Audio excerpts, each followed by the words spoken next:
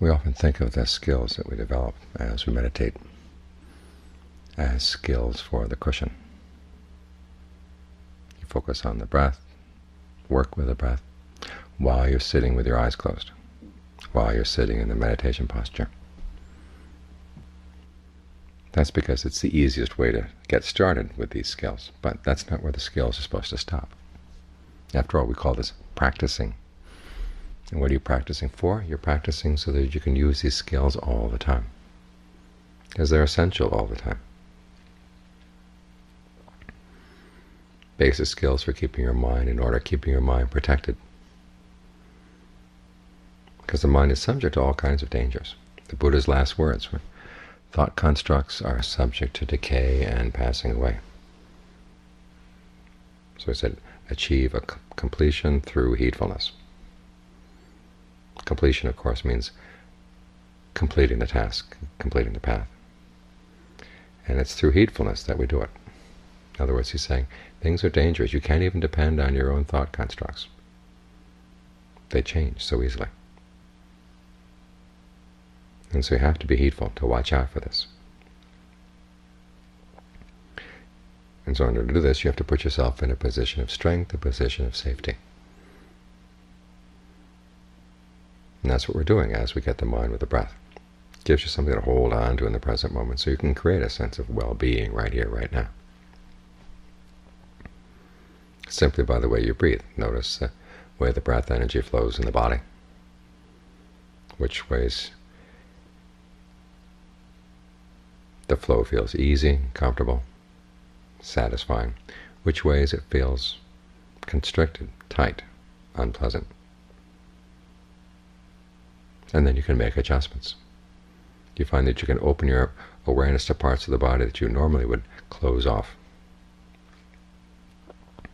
And it creates a great sense of ease, openness, relief.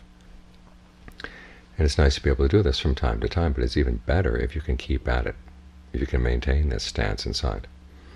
Often we say, well, I have too many other things to think about out there. Well, it's simply because the mind is used to running around, that it feels it has to run around.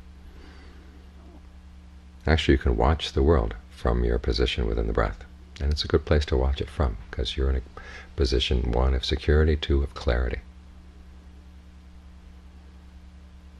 If you can maintain this sense of well-being inside, you find you feel less and less threatened by events outside, things that might happen in the future, things that are actually happening in the present moment. Don't reach into the mind here in the present moment, because you've got this safety place, this comfortable place that you can maintain inside. So that's the security. As for the clarity, when the mind is still, it can see things a lot more clearly. It's creating a lot less noise, so more subtle sounds going on in the mind are easier to detect. Most often our minds are like having buzz saws on all the time. You can hardly hear yourself think when there's a buzz saw going on. But our minds are so, so much like that. There's this thought, that thought, running around here, running there. It's all a lot of noise. And so no wonder things creep up on us. Greed, anger, delusion, all those destructive emotions. They start out small, but because we've got this buzz saw going on in our minds, we can't hear them. Only when they get louder than the buzz saw do we realize what's happened. By that time, it's too late. They've really taken over. So if you learn how to settle down with the breath and instead of following your thoughts, if a thought arises, just watch it pass, watch it pass, watch it pass. And things get quieter and quieter in the mind because you're not paying so much attention, you're not feeding these thoughts with your attention. And as the noise level goes down, you begin to detect other noises that you wouldn't have detected before. You begin to see how things arise in the mind, but the faint little stirrings in the mind that could lead to greed, could lead to anger, could lead to delusion if you allow them to grow. But when you catch them when they're small like this, it's easy to step on. Easy to blow them away. It's like an oak seedling. When it first comes out of the ground, you could step on it. That would be the end of it. If you wait until it's grown into a full-grown tree, you can't step on it at all. You could step on it, but it wouldn't kill it. It's the same with these little inchoate thoughts in the mind. If you catch them in time, they're not much of a problem. All you have to do is breathe through the little knot of energy that's associated with them, and they go away. You may not have uprooted them, but at least you've cleared a space for yourself. And again, this is a useful skill to have not only while you're sitting here trying to keep concentrated for the hour, but as you're trying to develop a sense of home base in the mind all the time. The less noise you're creating, the more not only can you detect subtler things inside your own mind, you can also detect subtler things going on outside as well. You begin to see where the little trigger points are in things that you see and hear and smell and taste and touch. You see the trigger points and you can realize that you can decide not to get let things get triggered. You realize you have the choice. But you can see this only when things quiet down and you can maintain that lower noise level as much as possible. So the skill lies not only in getting the mind to settle down, but learning how to keep it here as you get up, as you walk around, as you talk, as you do whatever you need to do in the course of the day. That sense of the breath is there. It's like having a cushion, like having a little airspace around your mind. It protects you from running off into other things. It protects you from being reactive. Whatever happens, always think, go to the breath first, and then look at the situation from the breath. And you find it's a lot easier to deal with. Many times you see you don't have to do anything at all. But it's a good way of cutting through your reactive patterns. First priority should always go to being with the breath. In the beginning, it stirs things up in the mind to have this kind of priority. And then lots of thoughts that demand that they be dealt with first will complain. But begin, if you really look at them, you realize that they can't be nearly as important as your ability to stay right here. They're just complaining because they're getting overthrown. But they're not really as important as they claim to be. What's really important is the quality of the mind that you develop as you stay with the breath because it's not just a sense of ease and comfort. You have to have mindfulness, you have to have alertness to maintain that sense of ease and comfort.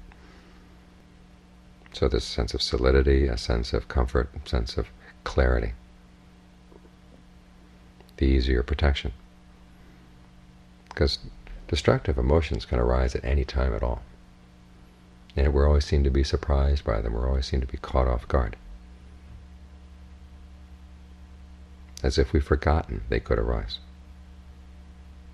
Yet they do. There's a potential there is there all the time. That's why the Buddha said to be heedful.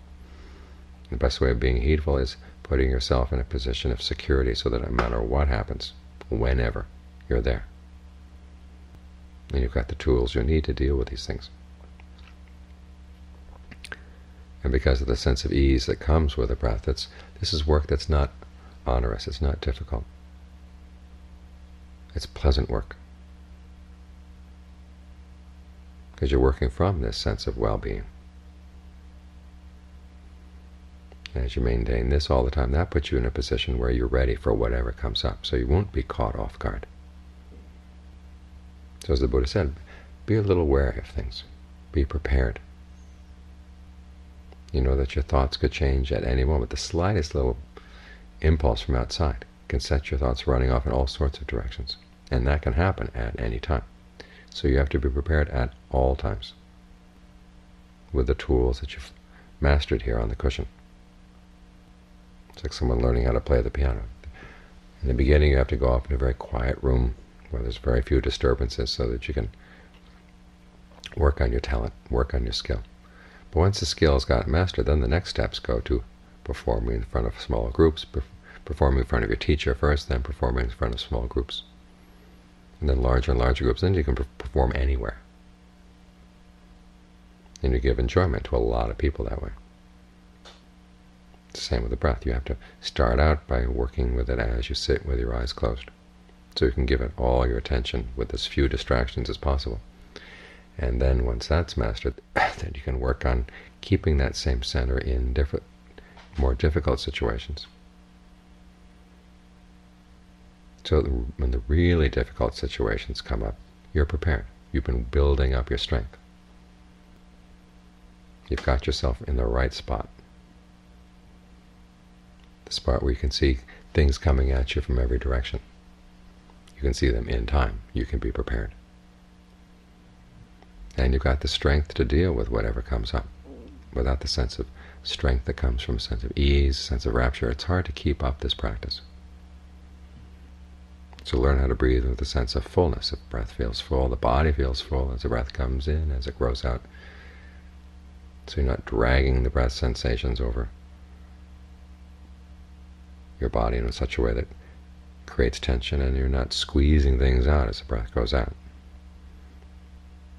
Think of every little cell in your body being left alone by the breath in such a way that it's not bothered. The breath comes in, it doesn't bother anybody. It goes out, it doesn't bother anybody. It just gives a sense of ease surrounding things. You stick with that for a while, and things get a greater and greater sense of fullness. When you have this sense of fullness, that can be the food for the mind. The Pali Canon, they talk about this, taking rapture, taking refreshment as your food. Nourishes the mind, strengthens the mind. So that the work of being heedful is not difficult doesn't weigh on you. It's something you can do with a sense of well-being. And that gives you the foundation you need to deal with whatever life may throw at you, whenever, wherever. You're prepared at all times, all places. That's when the meditation really shows its value.